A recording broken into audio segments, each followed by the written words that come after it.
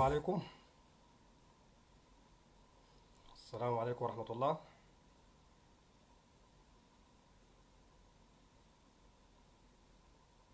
كويس. طيب تمام ما شاء الله. الناس عندها مواعيد. جات في المواعيد المناسبة. طيب بس ممكن آه، أي واحد يكتب في التعليق بس لو الصوت واضح أو لو في أي مشكلة تقنية عشان نقدر نواصل.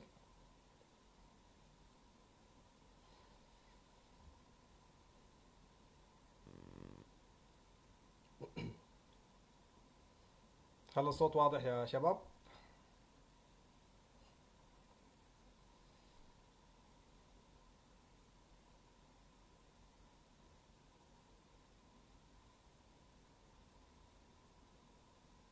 معلش بس آه، ممكن آه، أي واحد يكتب في التعليقات تحت بس لو. آه، لو الصوت واضح عشان لو في مشكلة في الصوت أنا أحاول أعدل الصوت عشان نقدر نواصل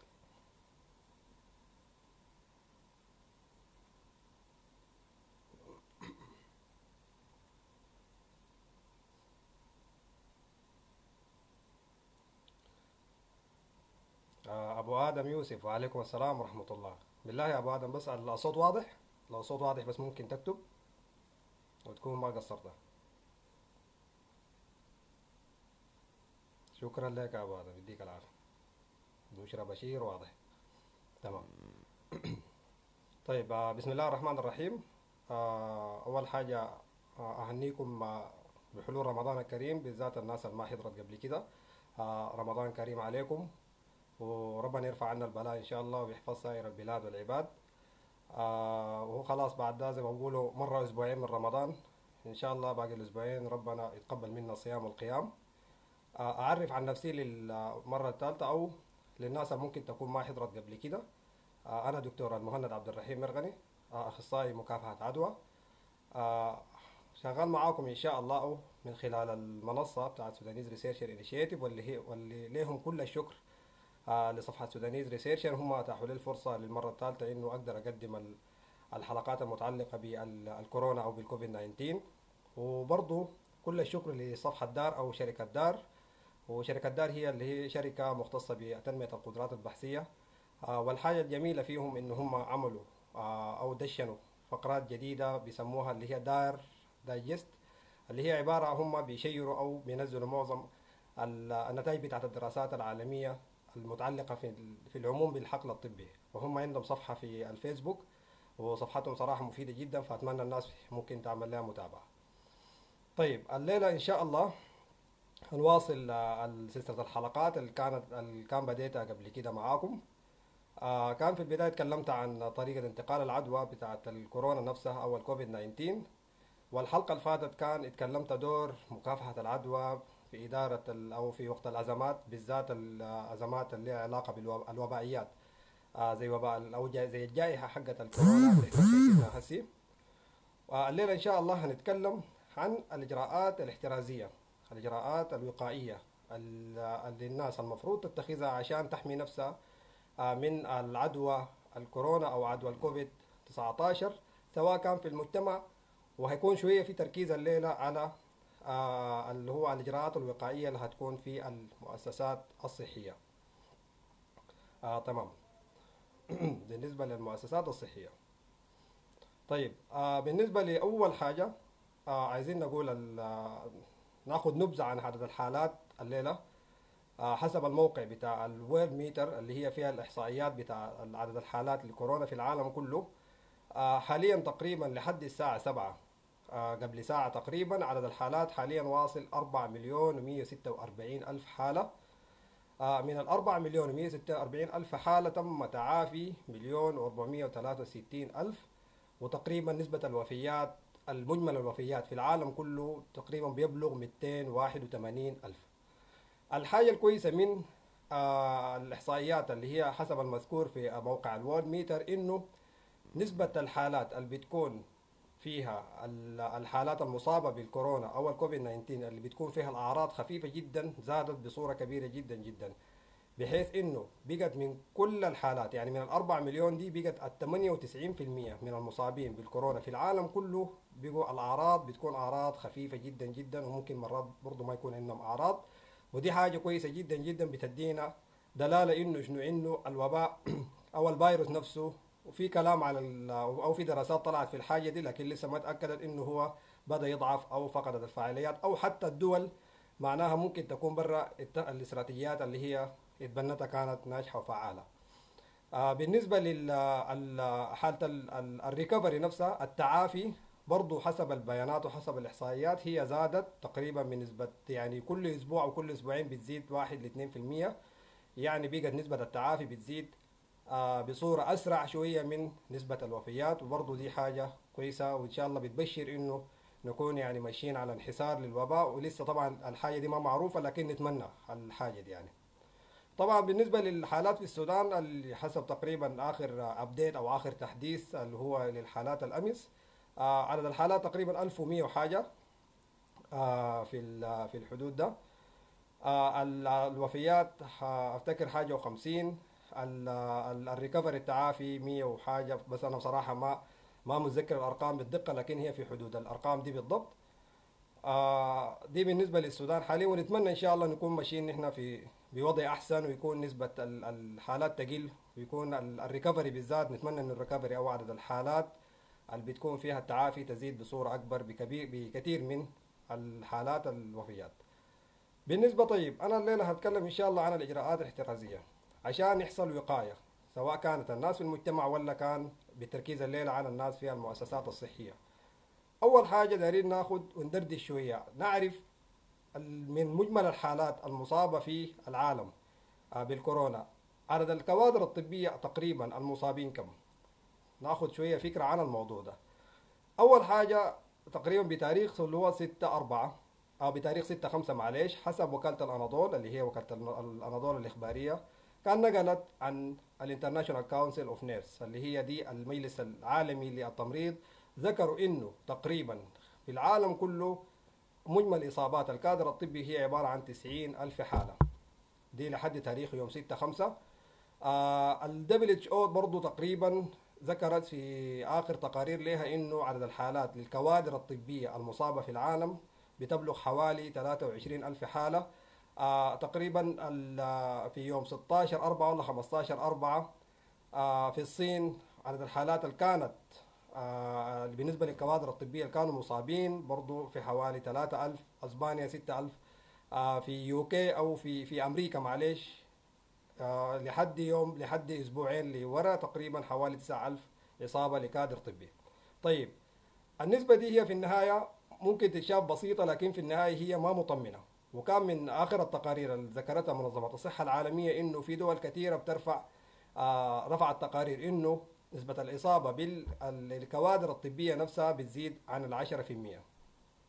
ولو شفنا حاليا الوضع في السودان ودارين نحسب والله نسبة الإصابات للكوادر الطبية بس تقريبا أنا ما عندي عدد آه يعني دقيق للحاجة دي لكن أفتكر إن هي العشرات من الأطباء تمت إصابتهم سواء كان ال- في ولاية الخرطوم أو في مجمل الولايات من المنطلق ده عشان كده لازم آه الموضوع إنه نتكلم عن الإجراءات الاحترازية بالذات في المؤسسات الصحية واحدة من أهم الحاجات اللي لازم نتكلم عنها والناس تحاول تستوعبها بصورة كبيرة عشان يحصل وقاية آه للأفراد المجتمع وبرضه يحصل وقاية للكادر الطبي عشان الكادر الطبي طالما نحن حافظنا على استمراريتهم بنقدر في النهاية النظام الصحي يقدر يواصل بصورة آه جيدة. طيب من أول الحاجات اللي داير اتكلم عنها هو الإجراءات الاحترازية للمجتمع عموما وهي ما فيها حاجات كثيرة. آه كل ال- البروتوكولات أو كل الإرشادات بتقول بالنسبة لل community أو للمجتمع عشان الناس تحمي نفسها من الكورونا هي بإجراءات بسيطة جدا جدا الناس بتحاول تتبعها. أول حاجة من خلال حاجة اسمها ال social distance اللي هي تعتبر واحدة من أهم المفاتيح الاحترازية والوقائية عشان الناس تقدر تحمي نفسها من وباء الكورونا. ال social distance دي هي عبارة عن شنو كان عرفناها قبل كده؟ إنه هي أي إجراءات بتخلي الناس تكون مفصولة من بعض أو الناس تكون ما محتكه ببعض أو في مسافات تكون بيناتهم بغض النظر عن شكل الحاجة دي كيف. آه، جواها جوا ال social distance دي منا بنبدأ من الحظر التجوال الكلي. يعني حظر التجوال الكامل اللي حصل ده هو برضه الغرض منه إنه الناس تحاول تفصل من بعض بحيث تكون قاعدة في البيت. آه تاني بالنسبة للحاجات اللي ال- الداخلة في ال social distance طبعا منع التجمعات تقفل المدارس ال- آه، قفل الأسواق قفل المحلات اللي هم الناس شغلهم ما ضروري برضو آه، بيكونوا قاعدين في البيت. التحفيز لموضوع الشغل من البيت في النهاية أي إجراء بيخلي إنه الناس تكون شنو ما محتكة ببعض أو بعيدة من بعض. برضو مفهوم ال- ال quarantine الحجر الصحي برضو تبع ال social distance وفي النهاية حتى لو الناس طلعت واضطرت تطلع في النهاية أهم شيء يكون الحفاظ على المسافات الآمنة اللي هي بيسموها ال physical distance اللي هي حوالي واحد لاثنين متر تقريبا. دي واحدة من أهم الإجراءات الاحترازية والبقت كل البروتوكولات وكل الدول بتحبذ إنه لازم تتم تفعيل ال social distance بصورة قوية لأنه لقوها حسب الدول الأوروبية بالذات قادرة تطبقها بصورة جيدة لقوا إنه فعلا من خلال الإجراء ده حاصل انحسار كبير لوباء الكورونا. دي بالنسبة له. بالنسبة الحاجة الثانية طبعا موضوع غسيل اليدين وأفتكر كل الناس هي عارفة الاحترازات دي إنه غسيل اليدين واحدة من أهم الإجراءات الضرورية جدا. لازم الواحد يواصل إنه يغسل يدينه أو ينظف يدينه سواء كان بالموية والصابون. ولو ما لقى الموية والصابون ممكن يعقم يدينه باستخدام الكحول ال 70% بصورة مستمرة وهي عندها لحظات معينة ممكن معروفة لكل الناس تقريبا. فلازم غسيل اليدين أو نظافة اليدين لازم تكون برضو بصورة مستمرة. آه، الحاجة الثالثة اللي هي موضوع النظافة والتطهير بالنسبة للبيئة اللي انت قاعد فيها. يعني الحتة اللي انت قاعد فيها سواء كان في البيت أو كان مضطر انت شغال في منطقة استراتيجية لازم تكون شغال لازم يكون في نظافة وتطهير دوري للمكان اللي انت قاعد فيه. النظافة عموما بتكون بالموية والصابون والتطهير دائما بتكون يا إما بالكحول العادي اللي هو 70% دي بالذات للأسطح الصغيرة أو ممكن تستخدم اللي هو الكلورين. الكلور كلنا عارفين الكلور. بتخفيف معين حسب الارشادات بتاعت الوزارة. هي مطلعة بروتوكول معين كيف بتخفف الكلور وممكن تعمل بها تطهير للبيئة أو للمكان اللي أنت قاعد فيه. آه الحاجة الأخيرة في ال- بالنسبة للمجتمع واللي هي دي كل الدول تقريبا أو معظم الدول بقت بتحفز أو بتحبذ إنه الناس تتخذها هو موضوع حاجة اسمها universal masking أو لبس الكمامات. زمان في البداية كان لبس الكمامات حسب البروتوكولات اللي طلعت بالذات من منظمة الصحة العالمية إنه يحصر لبس الكمامات على ممنوع على الزول يا إما مصاب يا إما واحد بيتعامل مع زول مصاب. حاليا الوضع اتغير تماما. آه، معظم آه، ال reference أو المصادر في العالم بالذات ال US CDC وال Euro CDC وده ما زي ما بيقولوا معاهم برضو آه، ال- المراكز المكافحة الأوبئة في آسيا كلهم اتخذوا الإجراء بتاع إنه لازم أي واحد طالما طالع من البيت لازم يكون لابس كمامة. تمام يا إما كمامة جراحية لو وجدت ولو ما في وطبعا عشان في نقص كبير في موضوع الكمامات بيجوا طلعوا البروتوكول أو آه، ال- الطريقة بتاعت صنع الكمامة القماشية وبقت في النهاية ماشية في آه، معظم الدول دي تقريبا. تمام؟ فبالتالي هم آه، فكرة إنه الواحد لازم يكون كم لا- لابس كمامة. لما يطلع من البيت بقت حاجة حاليا mandatory أو حاجة لابد منها عشان الناس تقي نفسها أو تحمي نفسها من وباء الكورونا. ده بالنسبة باختصار للإجراءات المجتمع. والحاجة دي هي لو المجتمع قدر يطبقها بصورة كبيرة جدا آه أنا متأكد تماما إنه هنلاحظ هيكون في انحسار للكورونا على مستوى الأسابيع القادمة فالناس فالناس في المجتمع لازم تحاول تتبع الإرشادات دي بصورة آه جيدة. آه بالنسبة للإجراءات الاحترازية في المؤسسة الصحية واللي هي دي شوية أنا هركز عليها الليلة. وطالما أنا ذكرت قبل شوية عن عدد الحالات المصابة بالذات الكوادر الطبية في العالم وأديت أرقام عليها هي في النهاية أرقام ما ما تعتبر بسيطة. هي صح ما كثيرة لكن برضه ما بسيطة وفي النهاية هي أرقام ما مطمنة. ولأنه الكادر الطبي مشكلته شنو؟ مشكلة الكادر الطبي أنت في وضع آه زي الحاصل الليلة في وباء حاصل. آه بقت الدولة بتعاني من الوباء ده. من أهم الحاجات اللي لازم تكون شغالة بصورة فعالة هي النظام الصحي، النظام الصحي أنا بتكلم هنا بالذات عن المستشفيات إن هي تكون شغال بصورة مستمرة، وعشان أقدر عشان تقدر المستشفى تكون شغال بصورة مستمرة لازم أقدر أحافظ على الكادر الطبي عندي بأي طريقة إنه يكون شغال بصورة آمنة، فبالتالي كل ما أنا أركز إنه أقلل عدد الإصابات بالنسبة للكادر الطبي في المستشفيات كل ما أنا قدرت أحافظ إنه أقوي المصطلح اللي بيسموها السيرج كاباسيتي أو بالعربي اللي هو استيعاب المستشفى. إنه المستشفى تكون تقدر تكون شغالة في ظل الكارثة أو في ظل الأزمة بالذات المتعلقة بالوبائيات زي جائحة الكورونا. عشان كده واحدة من أهم الحاجات إنه الكادر الطبي لازم ياخذ باله ويتبع الإرشادات أو الاستراتيجيات الوقائية بالذات في المؤسسات الصحية. طيب بالنسبة للاستراتيجيات المطلوبة أو اللي هي الريكومندد بقت من كل الأماكن في العالم إنه عشان تقدر تحمي الكادر الصحي عندك في المؤسسة الصحية أول حاجة لازم يتم تطبيق نظام الفرز. كل البروتوكولات في العالم كل المؤسسات البحثية في العالم والمؤسسات الوقائية متفقة إنه لازم يتم تطبيق نظام الفرز طيب نظام الفرز ده هو عبارة عن شنو؟ ممكن يكون الكادر الطبي عنده فكرة، لكن الكوادر الغير طبية أو الناس عموما في المجتمع ممكن من المهن الثانية ممكن يكون ما عندهم فكرة عن الفرز ده شنو، فأنا هحاول أتكلم عنها بصورة مبسطة. الفرز ده هو نظام بيكون موجود في المستشفيات في أول نقطة في المستشفى. الغرض منها شنو؟ الغرض منها إنه أنا من بدري بحاول أفرز المرضى. أي متردد جاي على المستشفى ما بخش طوال على المستشفى. من بدري بيحصل زي فرز بصنف الناس. بيحصل تصنيف على أي أساس؟ بيحصل تصنيف إنه أي مريض بيجي. والله هو عنده أعراض. آه تقريبا تشبه أعراض الكورونا. يعني مثلا معروفه أعراض الكورونا اللي هي بتكون زي الكحة مثلا زي الحمى ضيق النفس دي الأعراض اللي بتشبه بالضبط أعراض النزلة أو أعراض الكورونا ده على طول بيتم تصنيفهم من قبل ما يخش المستشفى وبيتحدد له مسار معين إنه هو بيمشي خلال المسار ده عشان يتبع إجراءات معينة وبيقعدوه في غرفة العزل أو في غرفة الفرز التنفسي. وبالنسبة للعيان اللي بيكون مثلا ما عنده أي أعراض آه حقت كورونا مثلا أو جاي لأي مشكلة ثانية ده ممكن يخش المستشفى بالمسار الروتيني العادي لكن طبعا برضه بإجراءات معينة. فهي دي فكرة الفرز. هي فكرة الفرز والتصنيف إنه اللي هو معلش إنه هو لازم بيتم تصنيف المرضى من البداية. أي واحد جاي المستشفى ما بخش آه ساي المستشفى لازم بيتم تصنيفه. وانت بتشوف والله أنت شكلك كده عندك أعراض زي أعراض الكورونا طوال أنت عندك مسار معين عندك حتة معينة وغرفة معينة بتكون أنت موجود فيها وبيجيك واحد كادر طبي عشان يتم فحصك هناك بطريقة معينة وبكون لابس لبس معين. والله لو أنت ما عندك أي أعراض مشابهة أو ما عندك أي تاريخ مخالطة أو كل الحاجات اللي بتخليك أنت مشتبه انه يكون عندك كورونا فأنت ممكن تخش المستشفى بالصورة العادية. وبرضه معاها إجراءات ومن اهمها إنه مثلا العيان أو المرافق له لازم يكون لابس الكمامة أو لو ما في كمامات يكون مغطي منطقة الأنف والفم بصورة آه يعني إنه هو يغطي الكمامة آه يغطي وشه بكمامة أو بأي آه بدائل عنده. فدي هي فكرة الفرز الحاجة إحنا زي ما قلنا إذا كان أنت عندك مريض تماما. ولقيت إنه المريض ده مثلا والله من بدري أو عنده أي أعراض بيتم تحويله على طول زي ما قلنا لغرفة الفرز التنفسي. أول نقطة فيها هي بتسمى حاجة اسمها الفرز البصري الفيجوال تراياج أو الفرز البصري. دي دائما بتكون موجودة وين؟ لو في ناس مشت المستشفيات بتلاحظها هي موجودة.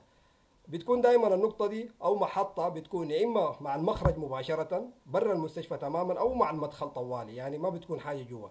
وهي الأفضل دائما تكون في المخرج تكون مع قصاد الباب للمستشفى عشان نضمن إنه أي عيان خاشي للمستشفى يكون خاشي وهو يكون فعلا ما عنده أي مثلا اشتباه إنه يكون عنده كورونا.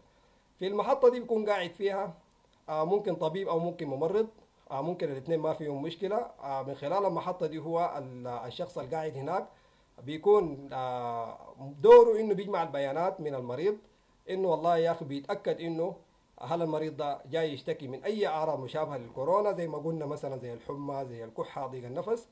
إذا كان هو لقاه والله بيشتكي من أي من الأعراض اللي قلناها دي طوالي ده بيتم تحويله مسار معين. وإذا كان المريض بعد ما جمع البيانات منه لقوا ما عنده أي أعراض بيتم ممكن يخش المستشفى.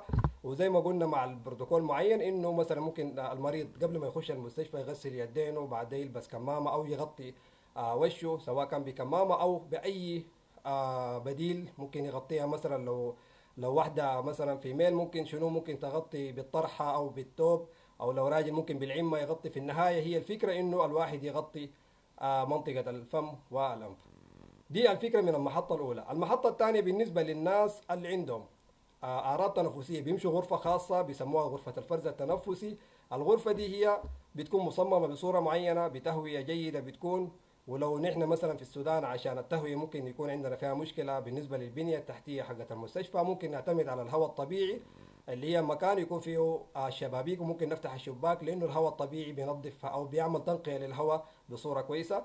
المهم بيكون العيان موجود هناك بيجي الكادر الطبي الطبيب بالحالة دي إنه هو بيجي بيفحص بعد ده العيان بيكون لابس اللبس الوقائي الكامل. آه بيحاول يفحص له بيقيس الضغط السكري بيفحص له الفحوصات اللازمة عشان هو يتأكد إنه والله هل فعلا المريض ده هل هو آه هل الأعراض اللي عنده دي فعلا هي سببها آه الكورونا نفسها ولا ممكن سببها أي التهاب تاني.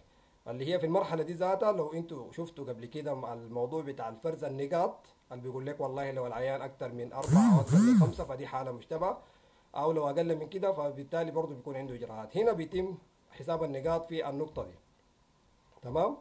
آه بس من خلال الحتة دي ذاتها لو طلع العيان طلع فعلا إنه أعراضه دي هي ماشية بصورة قوية على أعراض الكورونا بالتالي بيقعد بيقعد في غرفة العزل.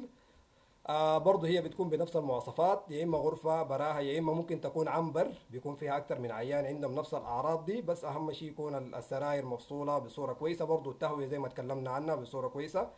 ويا إما المستشفى إذا كان مستشفى عزل متخصص فده طبعا ده مختلف. وإما إذا كان ما يعني المستشفى ما عندها إمكانية إن هي تعزل العيان أو تعمل رعاية صحية للعيان اللي عندهم اشتباه فبالتالي بيكون عندهم غرفة وبيحصل تبليغ للوبائيات القسم المختص عشان يشيلوا العيان ويقوموا يودوه مثلا لمركز العزل المختص. ده هو نظام الفرز باختصار. كويس؟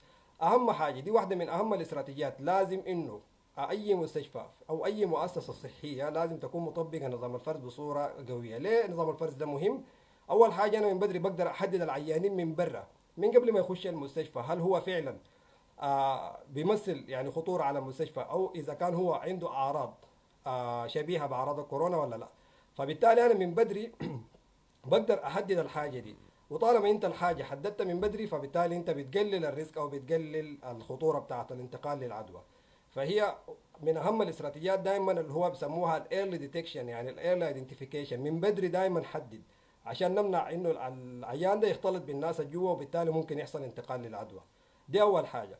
نمرة اثنين أنت بتقلل نفسه برضو الضغط على المستشفيات يعني بحيث بحيث إنه الكادر الطبي بيكون قاعد في المس... الحتات الأقسام الروتينية في المستشفى يكون قاعد يكون شوية شاعر بالأمان يكون الضغط بسيط عليه لأن أنت في النهاية بتفرز العيانين. فما ال... العيان بيجي خاشي بالمسار الطبيعي ده بيكون غالبا عيان ما عنده أي أعراض آه تنفسية فبالتالي هو نسبة الاشتباه عنده بتقل.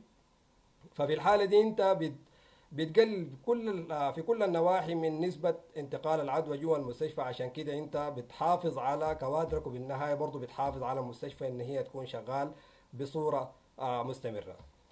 دي بالنسبة لنظام الفرز اللي هو اتكلمنا عنه باختصار ودي لازم كل البروتوكولات في العالم متفقة إنه من أهم السياسات عشان المستشفى المس... النظام الصحي آه يقل فيه العدوى انتشار العدوى بصورة كبيرة وتقدر تكون شغالة هي تطبيق نظام الفرز. فدي نمرة واحد. بالنسبة لنمرة اثنين الحاجة الثانية اللي هو أنا بتكلم إنه الاحتياطات. في احتياطات معينة هي بتطبق جوا المؤسسات الصحية. آه أنا ما هتكلم فيها كثير لأنه آه بس أحاول أختصرها. هي ممكن بتسمى احتياطات قياسية وفي احتياطات بتعتبر إضافة على الاحتياطات القياسية دي. آه الاحتياطات القياسية دي هي عبارة عن شنو بالضبط؟ هي احتياطات أو إجراءات. أي كادر طبي شغال في مستشفى لازم بيتخذها أو هو بيعملها سواء آه في كل الحالات سواء كان بيتعامل مع عيان عنده عدوى ولا ما عنده عدوى. يعني مثلا كمثال آه أي عيان لو لاحظتوا أي كادر طبي في المستشفى لما يجي يتعامل مع أي عيان بيكون لابس ال gloves بتاعه ممكن يكون لابس ال mask. ده أي عيان. فالحاجة اللي بيكون لابسها دي مثلا هو عبارة عن احتياطات قياسية إنه هو بيلبسها أو بيستعملها مع كل العيانين سواء كان هو عنده عدوى ولا ما عنده عدوى. الاحتياطات الإضافية دي اللي هي في حالة مثلا لو تعاملت مع عيان أنا ككادر طبي اتعاملت مع عيان والعيان ده نفسه هو عنده عدوى معروفة زي مثلا واحد جايني بحالة اشتباه لعدوى بتاعت كورونا أكيد هو معناها عنده infection وال infection ده هو نوعه تنفسي معناها هو عنده طريقة انتقال معينة فبالتالي أنا في الحالة دي بستخدم احتياطات إضافية إنه ممكن مثلا بزيد الحماية بتاعتي. زي ما شايفين هسه إنه الدكاترة في مراكز العزل بيقوموا شنو؟ لابسين اللبس الوقائي الكامل. اللبس الوقائي الكامل دي هي عبارة عن احتياطات إضافية لأنه هو الحاجة الروتينية في المستشفى إنه الكادر الطبي ما بيلبس أصلا لبس وقائي كامل بالنسبة للناس اللي خشت المستشفيات وشافت قبل كده. فهي دي احتياطات إضافية عشان أنا بتعامل مع واحد عنده عدوى معينة بتنتقل بطريقة معينة ومن خلال الحاجة دي أنا بقوم شنو؟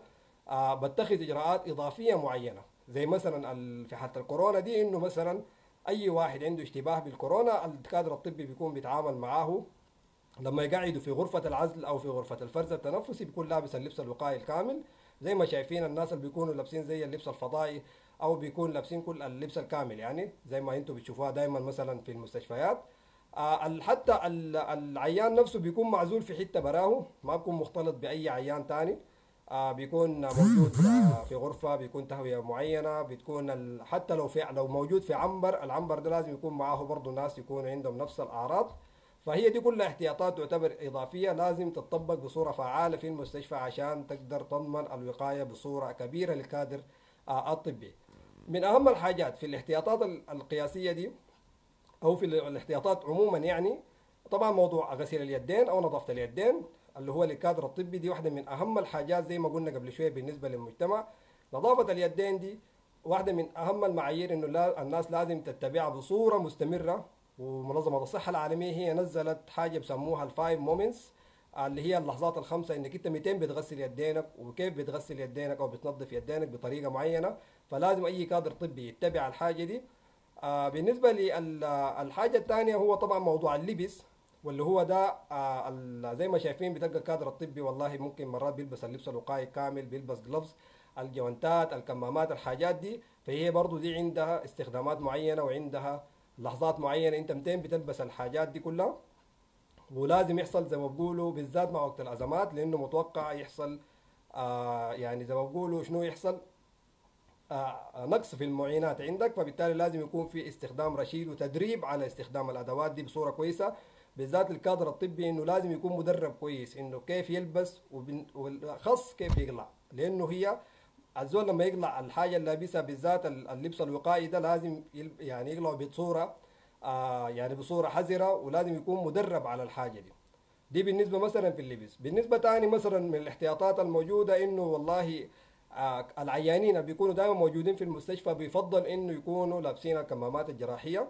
آه، وال- والناس ذاته بتحاول إنه بالذات الناس اللي بتعطس ولا حاجة لازم بقدر الإمكان إنه ما يعطس في الهواء لكن بيعطس مثلا في يديه بمنديل مثلا آه، أو يعطس اللي هو الحركة بتاعة العطاس في الكوع دي. آه لازم عشان أنت الرذاذ اللي بتطلعه ده ما ينتشر في الهواء بتحاول تحتويه بال... بالإجراءات دي. ولازم طبعا غسيل اليدين ونظافة اليدين تكون بحاجة مستمرة. آه بالنسبة تاني لموضوع النظافة ولا لازم تكون المستشفى برضو فيها نظافة روتينية فيها جدول بتاع نظافة بصورة مستمرة. وبالذات لما نجي نتكلم عن مستشفيات العزل لازم يكون فيها نظافة وتطهير بصورة مستمرة على الأقل مرة ولا مرتين في اليوم. وبعد ذاك في اللحظات اللي بيكون فيها مثلا حصل فيها اتساخ للمنطقة. آه تاني مثلا تعقيم ال- الأجهزة تعقيم المواد دي كلها إجراءات برضو لازم الكوادر الطبية أو المستشفى تتخذها إن هي تح- تح- تحرص إن هي ال- الأجهزة المستخدمة تكون معقمة بصورة كويسة ولو توصل لو الكادر الطبي استخدم أي جهاز لازم يمشي ينظفه ويعمل لها تعقيم برضه بصورة آه، مناسبة. طيب بالنسبة لموضوع ال PPE نفسه أو الأدوات الوقاية الشخصية دي أنا إن شاء الله هتكلم عنها في الحلقة في في اللايف الجاي أو في الحلقة الجاية هتكلم عن في حالة نقص الأدوات الوقاية الشخصية ونحن حاليا في السودان عندنا واحدة من المشاكل الكبيرة وهي ما مشكلة في السودان بس لكن مشكلة في العالم كله.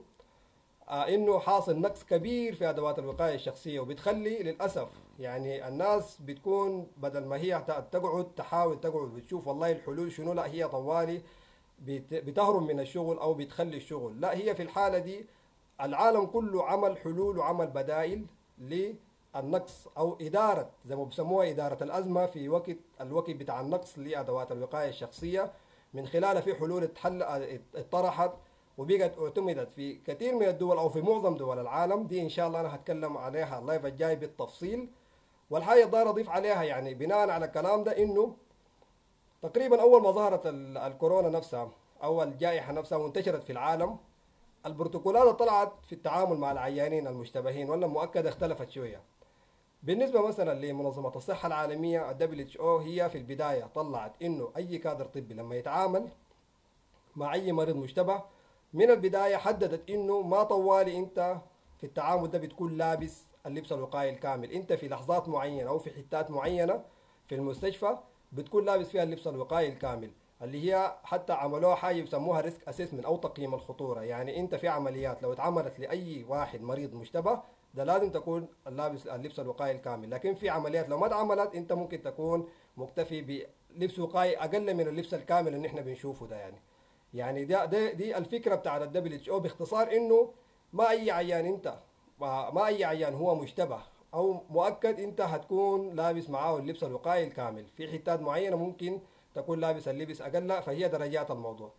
بخلاف منه كان؟ بخلاف ال US CDC وال Euro CDC تقريبا ومعهم الاستراليا ديل الثلاثه دول ديل في, في البداية لما طلعت الوباء ذكروا في التعامل مع العيانين إنه هم يلبسوا اللبس الوقائي الكامل مهما كان نوع التعامل ده شكله كيف. أنت كونك احتكيت بأي عيان عنده مشتبه أو هو حالة مؤكدة بالنسبة للكورونا كانوا في البداية قالوا إنه هم يتعاملوا معاهم as airborne precaution أو يتعاملوا معاهم بغض النظر. أنت كان إن شاء الله هتس... كان إن شاء الله بس بتساله سؤال كان بتاخذ منه بس معلومات ساي. لازم تكون لابس اللبس الوقائي الكامل. وبالذات كان التحديد في موضوع الكمامة اللي هو كان قالوا إنه الناس يلبسوا الكمامة اللي هي أعلى نوع من الكمامات الوقائية اللي بيسموها ال N95 أو ال respirators عموما. تقريبا بريطانيا معاهم في نفس الحاجة. بريطانيا برضو ايرلندا معاهم في نفس الكلام ده من البداية. لكن الحصل التغيير؟ الحصل شنو؟ الحصل إنه الدول دي كلها واجهت أزمة في النقص بتاعت أدوات الوقاية الشخصية؟ الأزمة دي خلتها لو الناس هي فعلا متابعة خلتها هي كلها تعمل update تعمل تحديث لل guidelines اللي هي طلعتها أو البروتوكولات اللي هي طلعتها وقامت رجعت خطوة لورا وقالت إنه okay خلاص عشان نحن عندنا أزمة ونحل الموضوع ده قاموا عملوا سياسات كثيرة. من أهم السياسات دي إنه بالنسبة للكمامات اللي هو المعروفه اللي بيسموها ال N95 دي قالوا خلاص دي ما أي زول بيلبسها. دي بيلبسها الزول اللي بيكون أو الكادر الطبي اللي بيكون أكثر عرضة لوباء الكورونا لما يتعامل مع مريض هيقوم يعمل له مثلا عملية معينة. لكن مثلا لو كادر طبي قاعد في حتة بعيدة أو كادر طبي بس بيتعامل مع مريض مشتبه أو مؤكد وبس مجرد هياخذ منه معلومات. يعني ما عنده تعامل طبي مباشر معه ممكن يلبس الكمامات العادية دي. كلهم كلهم كل الجايد لاينز دي سحبت الكلام ده وقالوا إنه فعلا دي إحنا هنوفر ال N95 دي مثلا لكوادر معينة في لحظات معينة أو في عمليات معينة. ده بالنسبة للحاجة الأولى. بالنسبة للحاجة الثانية طلعوا برضه بروتوكولات بتتكلم عن الاستخدام الممتد لأدوات الوقاية الشخصية. ومعها برضو إعادة استخدام الوقاية الشخصية. أنا دي ما هتكلم عنها بالتفصيل هنا هتكلم عنها إن شاء الله المرة الجاية بالتفصيل عشان دي فعلا كلها حلول فعالة وحلول يعني مجدية وخلت إنه الناس تقدر تزيد الاستيعاب بتاعت المستشفيات ويخلوا ويقدروا يتعاملوا مع موضوع النقص بتاع أدوات الوقاية الشخصية. وبرضو كان من الاهتمامات اللي اهتموا بها إنه اهتموا بصناعة الحاجات الريوزابل عموما الحاجات اللي ممكن تعاد استخدامها. فدي بالنسبة لكل الحلول والبدائل إن شاء الله هنتكلم عنها المرة الجاية. بالنسبة واحدة برضو من الحاجات اللي عندها علاقة بالإجراءات الاحترازية اللي هي طبعا الحاجات اللي لها علاقة بالإدارة والهندسة فيها المستشفى. مثلا من أهم الحاجات الإدارية لأي مؤسسة صحية إنه هي لازم تتأكد إنه أول حاجة تكون كل الكلام اللي قلناه ده متوفر. يعني يكون الموية والصابون يكون متوفر يكون الكحول 70% اللي قلناها قبل شوية المعقم لليدين تكون متوفرة. تتأكد إنه الأطباء عندهم مدربين. آه كلهم على الأسس بتاعه مكافحة العدوى. تتاكد مثلا إنه حتى البوسترات التعليمية واللي بتذكر أي سواء كان الكادر ولا المريض باتباع الإجراءات تكون برضو عفوا تكون برضو يعني موزعة في المستشفيات أو في كل المؤسسة بصورة آه جيدة. أو يتأكد برضو إنه كل الحاجات دي تكون ماشية ويعني ويتاكد إنه التعامل يكون يعني كل الحاجات دي تكون موفرة. موفرة. حتى وغير تكون موفرة كلهم أهم شيء يتدربوا حتى على الاستخدام الرشيد لها لأنه طالما أنت في مرحلة حقت أزمة لازم الناس كلها تتدرب إنه كيف تستخدم الحاجة بالطريقة الصح عشان تقدر تستخدمها بصورة افيشنت يعني بصورة إنك أنت بتحفظ مواردك. أهم شيء حاليا في أي إدارة في أي مستشفى إنه هي لازم تستخدم الموارد اللي عندها بصورة رشيدة عشان تقدر تحفظ الموارد بتاعتك وتقدر المستشفى زي ما بيقولوا نفسها نفسها يكون طويل شوية. فدي بالنسبة للنواحي الإدارية المهمة لازم تكون متوفرة في المستشفيات كلها.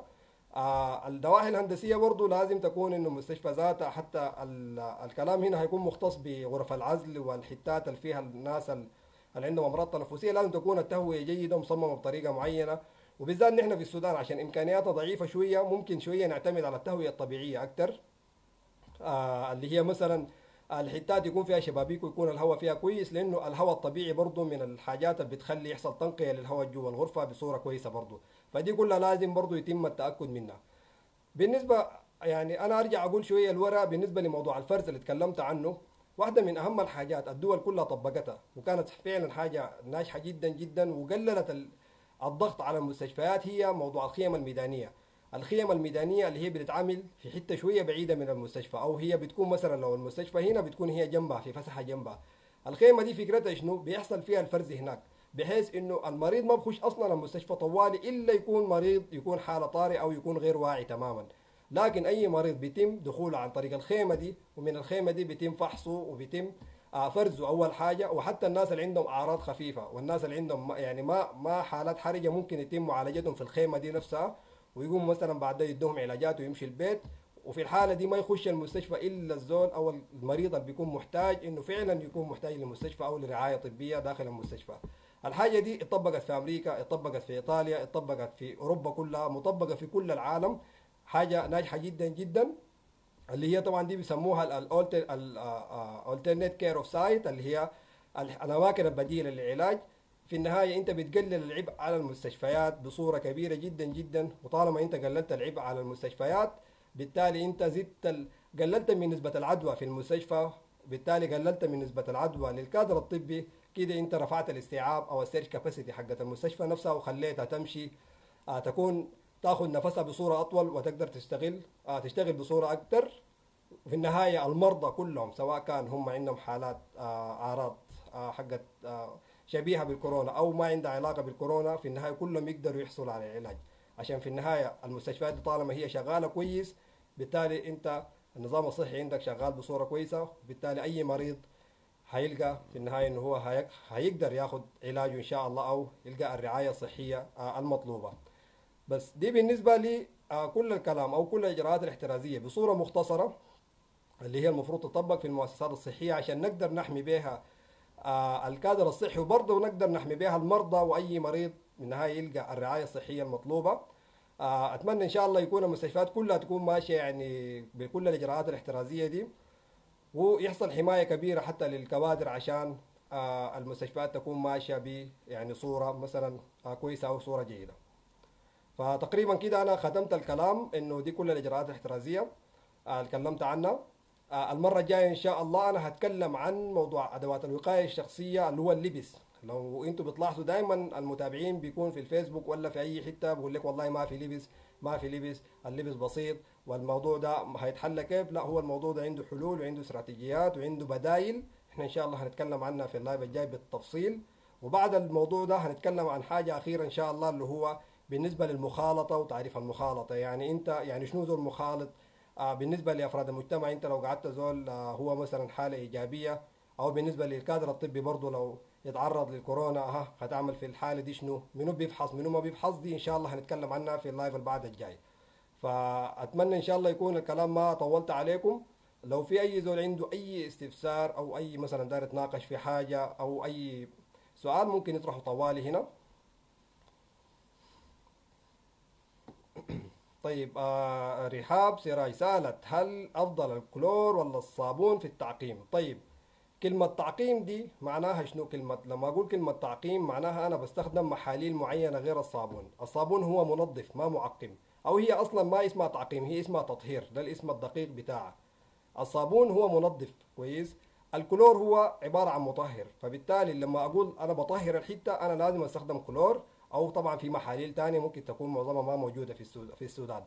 الشكل العام للنظافة بتكون عامل كيف لما أنا أجي أطهر حتة أو أطهر مكان إنه أنا بعمل في خطوتين. بعمل نظافة عادية بالموية والصابون وبعد النظافة بالموية والصابون بقوم أنا بستخدم بعد ذاك الكلور أو أي مطهر تاني وبعد ذاك بخليها ينشف وبعد ذاك شنو؟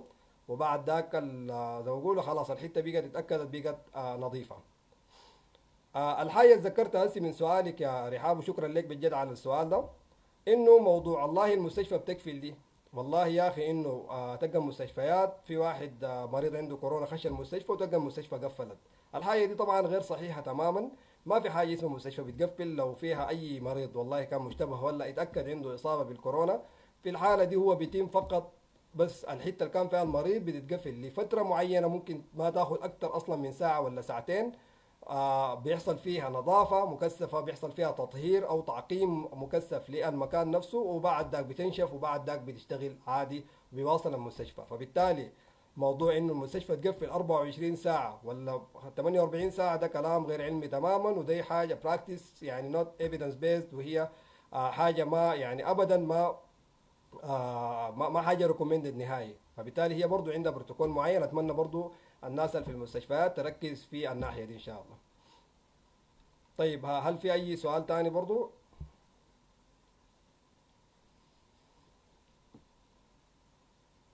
هل في أي أسئلة متعلقة مثلا بالموضوع في المجتمع ولا كان في المستشفيات؟ آه، بما يخص والله الإجراءات الاحترازية بالنسبة للوقاية من الكورونا نفسها.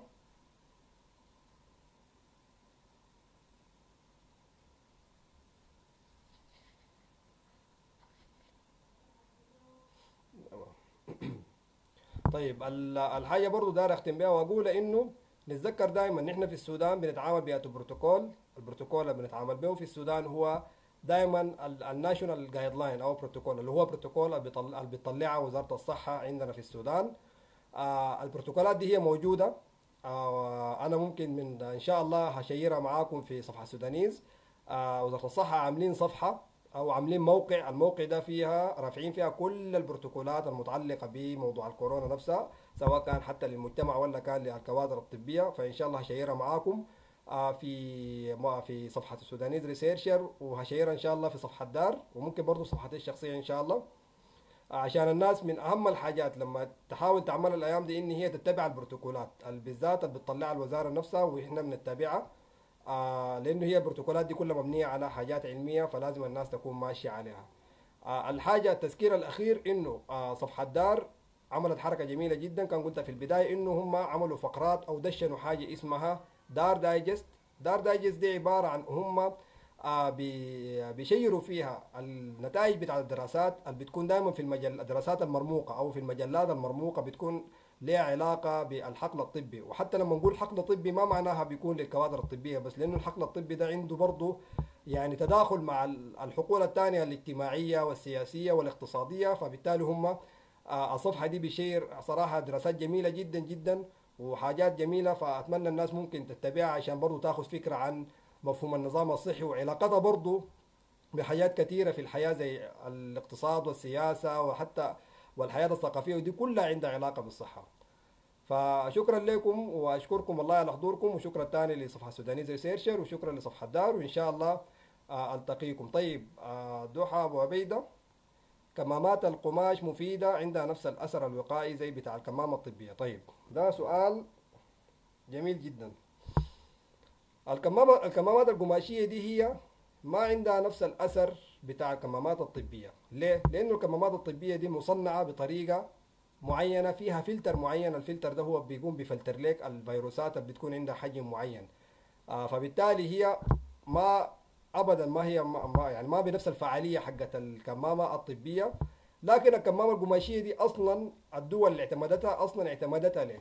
اعتمدت الكمامة القماشية عشان هي باعتبار إنه والله لقوا في حالات كثيره جدا جدا عندها أعراض أو ما عندها أعراض يعني عندها كورونا لكن asymptomatic أو خالي من الأعراض. يعني واحد بيكون هو positive case أو حالة إيجابية لكن ما عنده أعراض. فبقت الحالة دي مخيفة جدا لأنه برضه الزول ما عنده أعراض بيقدر ينقل العدوى. فبالتالي قالوا شنو؟ قالوا والله يا أخي خلاص معناها أي واحد المفروض يكون لابس كمامة. طيب لما جو المسألة بتاعت الكمامة طيب هل الكمامه الطبيه والله إحنا عندنا نقص في الكمامات الطبية. ما ممكن نوفر كمامات للكوادر وبرضه للمجتمع. الموضوع ده ما هيقدر يغطي. قاموا من خلال الفكرة دي عملوا الكمامه القماشية. قالوا إذا نعمل حاجة بس تقوم تغطي منطقة الأنف والفم عشان أنت لما تيجي تعطس ولا تيجي تكح كويس تقدر تحتوي الرذاذ ده جوا الكمامة نفسها. فبالتالي الكمامة القماشية دي فكرتها إنك أنت بتحمي الآخرين منك أنت. ما بتحمي ما بتحمي نفسك من برا. يعني الفكرة من الكمامة القماشية عشان ألخصها أنت أنت بتحمي نفسك أو بتحمي معلش أنت بتحمي غيرك من نفسك بحيث أنت لما تطلع أي رذاذ سواء كان بشكل الكحة ولا العطاس أنت بتحتوي الرذاذ ده بإنك بتلبس لك كمامة آه، قماشية. فالفكرة هي طلعوها عشان يقدروا آه، ده كبديل لموضوع الكمامات اللي هي الطبية عشان يقدروا يلبسوها أفراد المجتمع. وقالوا هم كل الحاجة كل الدول دي اعتمدت إنه أي واحد بيكون طالع من البيت لازم يكون لابس كمامه آه وبالأحرى هسه اعتمدوها اللي هي الكمامات القماشية لقوا إنه هي بتقدر تقلل هي بتقلل في النهاية وكل الدراسات أثبتت الحاجة دي إن هي بتقلل انتقال العدوى بالنسبة للكورونا أو لكوفيد 19 فلازم بس الح- الح- ال- الحاجة برضه ده أقولها هي ما بنفس فعالية الكمامة الطبية حقت المستشفيات. لكن عشان نقدر يحصل توفير للكمامة الطبية للكوادر الطبية عملوا الكمامات القماشية اللي هي برضه لقوها زي ال US CDC وكل العالم هسه حاليا ماشي بها إن هي بتقلل برضه انتشار الكوفيد 19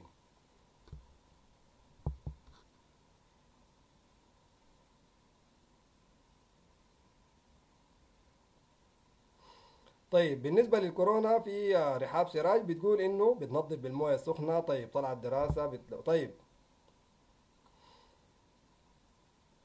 بالنسبة لموضوع النظافة موضوع النظافة دي إذا كان في طريقة الكلور الكلور هو ميزته إنه هو بيقتلها بسرعة. يعني الحاجة داير أقول أول شيء إنه الفيروس بتاع الكورونا في في ال environment هو ما قوي هو ضعيف. يعني بيتم قتله بصورة ما صعبة. الكلور ميزته إنه هو إنه هو بيقضي على ال ال الفيروس ده. طيب بالنسبة فعلا لو في مشكلة بتاعت بالنسبة للغسيل آه المشكلة حقت الكورونا نفسها آه بالنسبة للمشكلة حقت الكلور معلش لأن الريحة حقتها ذاتها بتقوم تعمل شنو في الحالة دي؟ انت أنا بتكلم طبعا عن غسيل بتاع هدوم أو غسيل بتاع ملابس لو أنت قصدك الحاجة دي. إنه أنت بتغسلي الملابس نفسها بموية وصابون عادي كويس وتكون في موية سخنة. فعلا تكون الموية سخنه هم حتى في آه بروتوكولات كثيره آه كانت أوصت بها برضه منظمة الصحة العالمية إنه بالموية السخنة ممكن تتخطى فعلا ساعة ولا ساعتين. آه تتغسل عادي. بمويه وصابون. وبعد ذاك الأهم من الموية السخنة إن هي تتشر في الشمس. تتخت في الشمس لمدة ساعتين لثلاث ساعات. دي حسب كلام ال WHO إنه الحاجة لما تتخت في الشمس ساعتين وثلاثة بعد غسيلها في النهاية أنت بتقدر برضه تصل للفعاليه إنه بيحصل آه نظافة كاملة مثلا للحاجة اللي أنت غسلتها. فدي بالنسبة مثلا للبدايل إنه مثلا لو الكلورين بالنسبة لك ريحته قوية آه ولا مثلا ما قادر أغسل بيه بالنسبة للملابس. بالنسبة طبعا للأسطح مثلا لما تيجي تنظف الأسطح الصغيرة والحاجات دي هي ممكن لو أنت قدرت تنظف لك ترابيزة مقابض باب الحاجات الأسطح بتكون ما واسعة وبتكون صغيرة آه ممكن بالكحول العادي ده 70% بترشها عليها بترش على الأسطح دي ذاتها. والأهم حاجة دائما لما نكون يعني بس نكون عارفينها لما نيجي نطهر حاجة لازم ننظف يعني, لازم نعمل نظافة موية وصابون. لازم الحتة تكون نظيفة. كويس؟ عشان بعد ذاك أنا بقوم بعمل عليها يا إما الكلور يا إما يا إما الكلورين يا إما الكحول. بخليها فترة شوية كده الكحول ممكن ياخذ له دقيقتين لثلاث دقائق وممكن الكلورين بياخذ تقريبا 5 minutes to 10 minutes عشان ياخذ ال contact time بتاعتها. أو الزمن اللي بتكون فيها هي فعاله إن هي تقتل الفيروس نفسه وبعد ذاك بتكون الحتة آمنة إنك أنت تتعامل معها.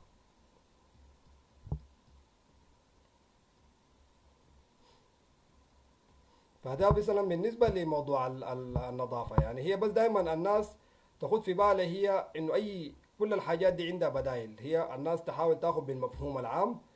آه الحاجة الناس لو أخذتها بالمفهوم نفسه في النهاية أنت بتلقى دائما بدائل لأي شيء أو لأي حاجة أنت ممكن تواجهها. بالذات آه زي ما قلت قبل شوية في موضوع أدوات الوقاية الشخصية دي اللي إن شاء الله هتكلم عنها المرة الجاية إنه فعلا الحلول شنو والبدائل شنو؟ والله مثلا لو أنا في المستشفى ما عندي gown ما عندي كمامات ما عندي مريالة طب أنا هعمل شنو؟ طبعا المستشفى هتتصرف كيف في الحالة دي؟ لأنه أنا ما ممكن المستشفيات تقفل وأخليها تقفل في ظرف زي ده. إن شاء الله هتكلم عنه المرة الجاية. اللي هو حتى دي اللي بيسموها ال crisis management of ال PPE shortage يعني أنت بتحاول تدير أزمة بتاعت نقص بتاعت أدوات وقاية الشخصية وهي كلها عندها بروتوكولات وعندها guidelines وإرشادات معينة دي إن شاء الله هتكلم عنها إن شاء الله المرة الجاية لأن أفتكر دي هتكون واحدة من المواضيع مهمة جدا جدا للكوادر الطبية عشان المستشفى تكون ال surge capacity بتاعتها ماشية بصورة أعلى وتقدر تواصل شغلها بصورة آه كبيرة. آه الحاجة في النهاية اختم وأقول والله شكرا لكم على حضوركم وإن شاء الله نتلاقى المرة الجاية. الإعلان عن ال live الجاي هيكون يا إما في صفحة Sudanese Researchers Initiative أو في صفحة دار أو ممكن تكون في صفحتي الشخصية. إن شاء الله نلتقيكم على خير. السلام عليكم.